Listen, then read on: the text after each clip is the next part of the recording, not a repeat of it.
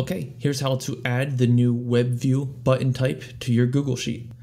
First, select the entire column that you want to add this button type to. So I'm using button 2 here, and then just control click, or if you're on a Mac, command click away that header.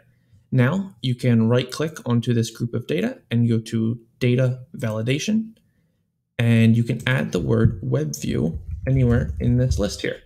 Just make sure you have commas on both sides if you put it somewhere in the middle. And we can now use the web view button type.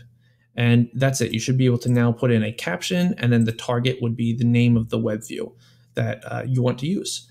Um, if you want, you can have these colors um, change in the same way that they did for the URL. In order to make that happen, now this is just optional, just select the three columns that you want uh, these columns here and then control or command click away the headers. You can now right click, go to conditional formatting and add O2 equals web view um, because we now want to reference O2. If it equals web view, then make it red.